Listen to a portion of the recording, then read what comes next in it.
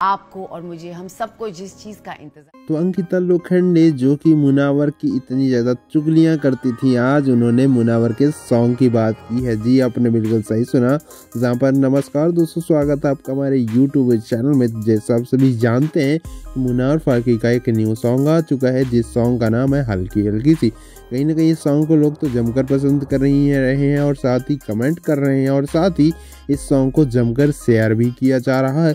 जहाँ पर इस सॉन्ग के जो मतलब व्यूज़ के नंबर हैं वो जो बढ़ रहे हैं और वो जो मतलब लगातार मतलब हर एक मिनट में किस तरह से उछाल मार रहे हैं, वो तो काफ़ी अच्छा है और उनके फैंस को भी पसंद आ रहा है। कहीं कहीं सॉन्ग को लोग जमकर पसंद कर रहे हैं और लाइक और भर भर कर कमेंट दे रहे हैं।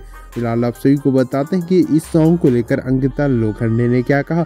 जहाँ पर आप सभी को बता दें कि इस सॉन्ग के आने के कुछ ही मिनट या फिर कुछ ही घंटों के बाद आप सभी को बता दें कि अंकिता लोखंडे ने इस सॉन्ग की तारीफ़ कर डाली है।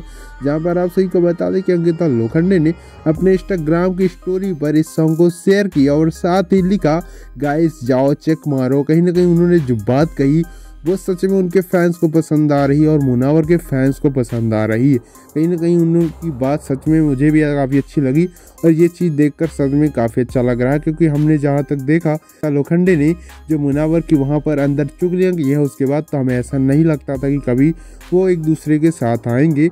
और इस तरह का मतलब रिएक्शन देखने को मिलेगा। फ़िलहाल आपसे बताएँ कि आप सभी को अंकिता लोखंडे का रिएक्शन कैसा लगा, हमें कमेंट सेक्शन में लिखना बिल्कुल न तो साथ ही वीडियो अच्छा लगा हो तो लाइक करें एंड इसी तरह के लेटेस्ट अपडेट हमारे चैनल को ज़रूर सब्सक्राइब करें। मिलता है में, तब तक बाय बाय